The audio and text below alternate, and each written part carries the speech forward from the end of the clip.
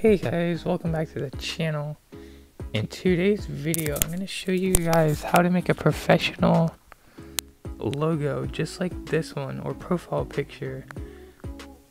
Just Subscribe. a free editing app called and turn on all notifications. No, free, but what you're going to be needing to edit your own profile picture will be free. So I'm going to start off with this one. I got the best angle.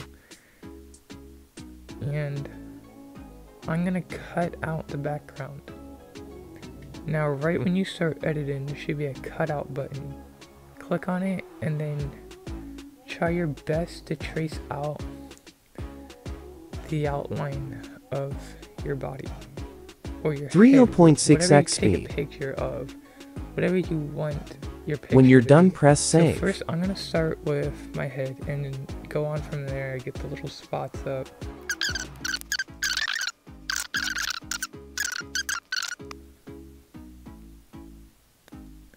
Okay guys, this is my finishing results. Now, if you get a finishing result like this, your shoulder's still showing some background. Doesn't matter, they're not going to see that anyways, but... Okay guys, now I'm actually going to change it to a cartoonish effect. So you got to press effects, the FX button. Go over to artistic, you should already have it on there.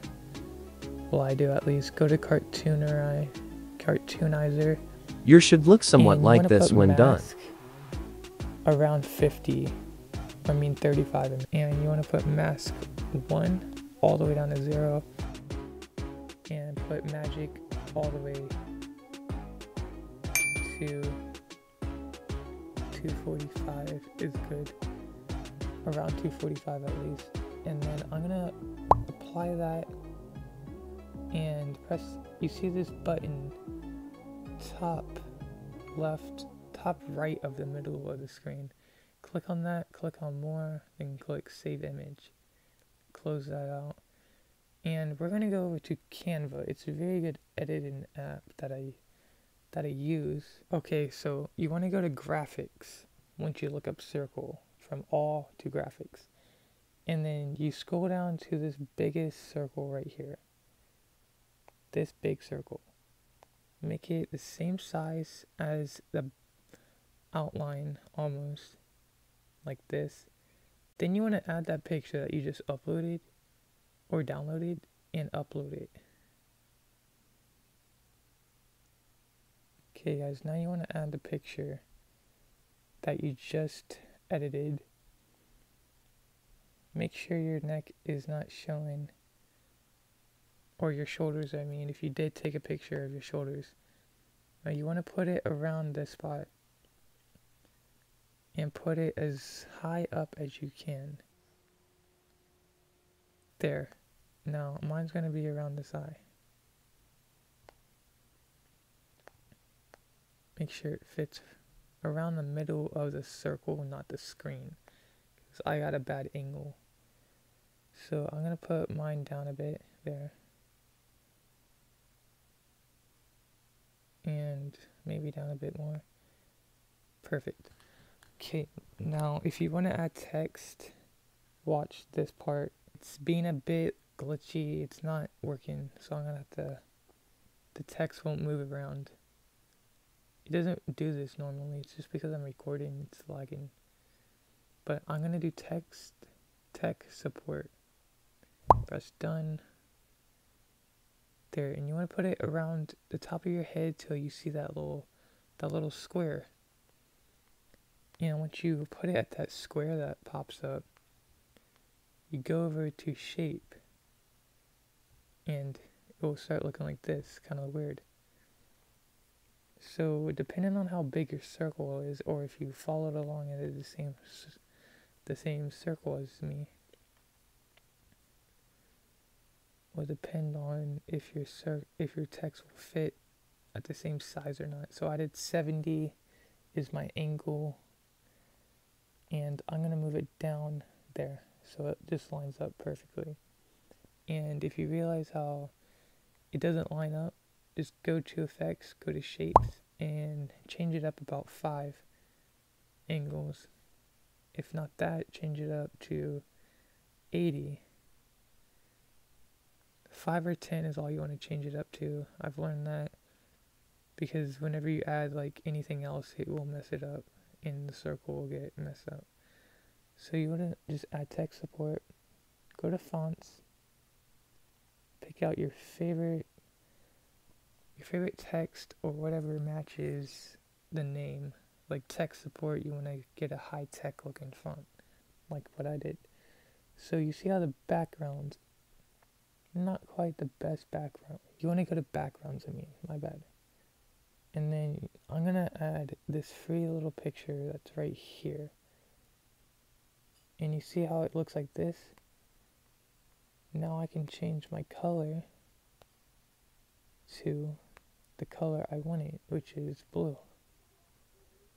And you see how it, you can't really see it as much. The background kind of messes up the text.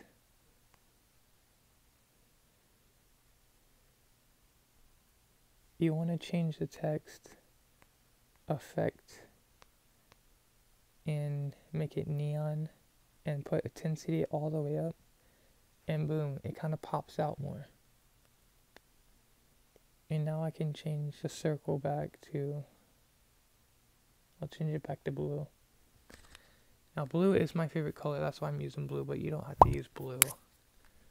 But you can if you want blue just kind of goes with everything so I use it so now you want to press download top right corner between that crown and the, the up arrow, which is the share button. So if you want to share this, you can share it, but it's still not downloadable if you do share it, by the way.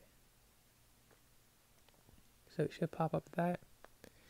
And you want to go over to your channel, and this is how you add it. You look up YouTube Studio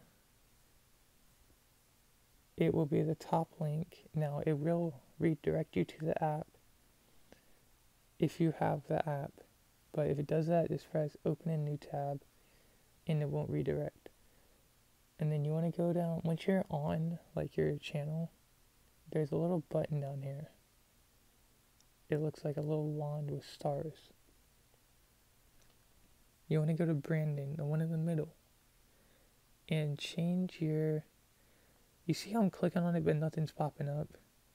You gotta click and hold on it, tap off of it, and then this should pop up. It's kind of a glitch with the with mobile, it does stuff like that. Now you see how the circle perfectly lines up with with the circle that YouTube gives you. You see this light blue line right here that's around the circle that's YouTube. That's what YouTube does. It makes a circle. It makes your logo a circle, so it's going to cut it off there. So that's why I want you to use that circle because it's perfect size. Now, when you press done, it will look very good. And then in my next video, stay updated, guys. Make sure to subscribe, hit that bell button, turn it on to all. I will show you how to do that right now. So I'll look up. This is my old channel's name. It's it's what comes up right when I look up my channel. So if you want to find my channel, you got to look up the old username. But it has changed the Jake's Tech Tips. You want to click on all. Make sure you have all notifications on so you can receive cute little videos of my puppy.